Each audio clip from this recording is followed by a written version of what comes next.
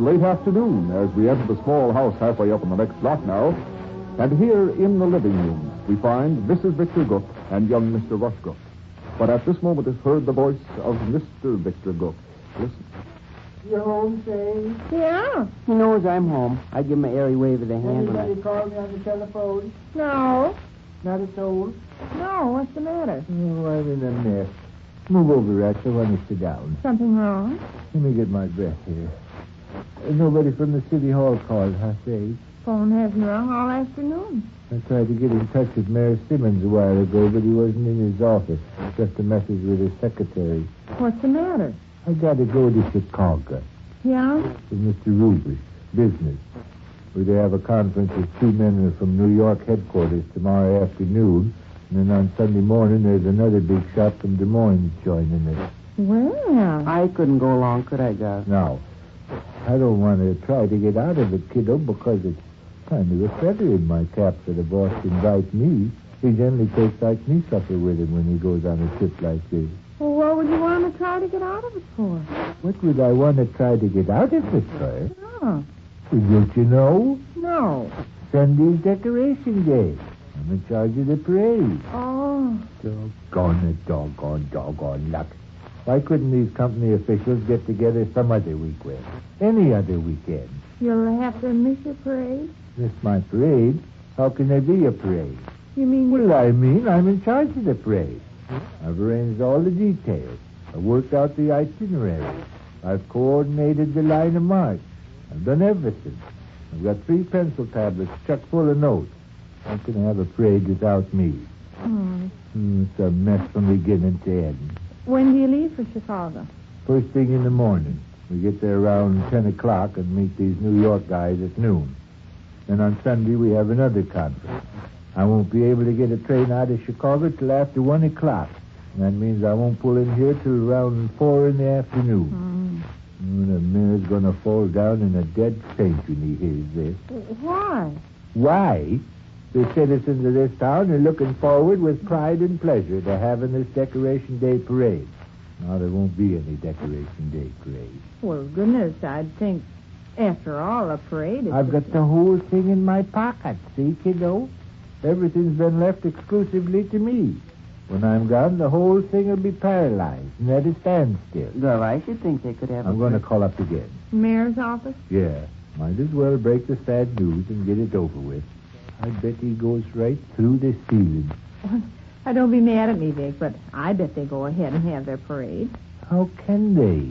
Well, I don't see how one measly little fella can hold up a whole city from enjoying their decoration day. I'm the one little measly fella. Ha. Well, I didn't mean it that way, but goodness, all the people got to do is line up and march out to the cemetery. Line up and march out to the cemetery. That's your idea of all there is to a parade, huh? No, but I should think almost Do anybody. you see this pencil tablet? Yeah, And this pencil tablet? yeah. And this one? Mm-hmm. They're all plumb full of notes. I've spent hours of work on this thing. Hours of work. Well, yes, I know. And if you were going to be in town, I bet there'd be the nicest Decoration Day parade that ever was. But since you're not going to be in town, I doubt if they'll call the parade off altogether. What else can they do? Line up and march out to the cemetery, just like they always do. Oh, for gosh well, then. I must say I admire your attitude, Sade. Your husband comes home facing a desperate crisis, and you think it's funny. Don't see where the desperate crisis comes in. After Excuse all, me, I'm going to phone the mayor. If you want my opinion... I doubt.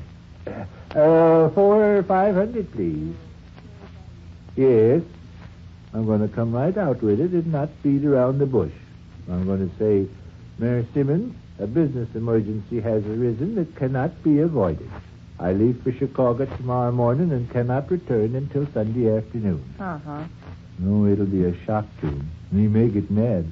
But it's not my fault. I can't help it. He'll just have to appreciate that a man's job comes first. Uh-huh. Be a pretty dreary old decoration day around here Sunday without any parade, won't it? Sure will. Why don't they answer their dog? Uh, uh, hello, uh, Mayor's office. Uh, this is V.R. Gook speaking. Gook. G-O-O-K. I called earlier this afternoon. Yeah. Has uh, Mayor Simmons come back yet? I see. Well, uh, will you be sure to have him phone me the minute he arrives? It's very important. Yes, you have my number. Ha All right, then. Thanks very much. Bye. He's probably out shooting some golf. I understand almost Kiddo, every... there may be a ray of hoop. Yeah? Yeah, listen, I can get a train out of Chicago Sunday a little bit after one o'clock. Gets me in here around four. Well, Well, how about postponing the parade till then? till four o'clock in the afternoon. Sure. I tell you what, you and Rush could meet me at the station with my lodge robe and my plumed hat and my boots and medals and so forth, and I could change my clothes in a taxicab while we dashed for Mulberry Street. Of course, the paraders would all be notified to be there and ready to march. They'd never do it. Who wouldn't? The people. What people? People that march in the parade. They'd never do what? Get together that close to supper time and march out to the cemetery. Why not? Because they wouldn't. There's picnics on Decoration Day and shows. Besides, who wants to walk clear out to the cemetery in the dark? Is it dark at four o'clock? It'll be dark by the time you got there. Don't you think the people would rather have their parade at four o'clock in the afternoon than not have any parade at all? I think they'll have their parade at the regular time. Without me? Oh, yes. How can they? Meet at Mulberry Street at 10 o'clock, line up, and march out to the cemetery. Oh, for gosh sakes, I say, sometimes I wonder if your head is... Go away, Rush, I'll answer it. I wasn't going to answer it. Uh, hello? Yeah? It is Mayor Simmons? Who is it? Oh, well, is the mayor... Huh? What I want with him? I'm V.R. Gook. I'm in charge of the Decoration Day parade. But you mean the mayor don't place my name?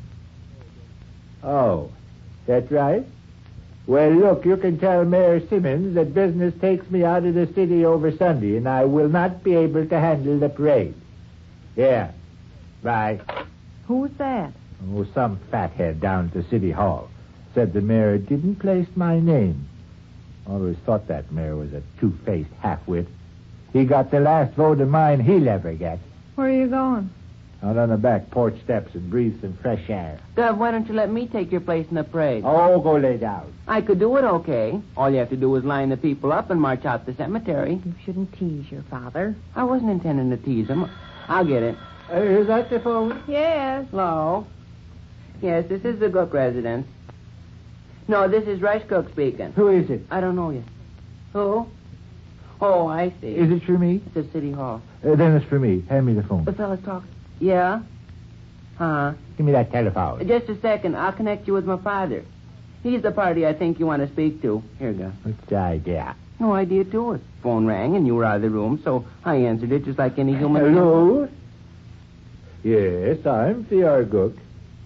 Oh, that's right? Yes, I'd be glad to talk to him.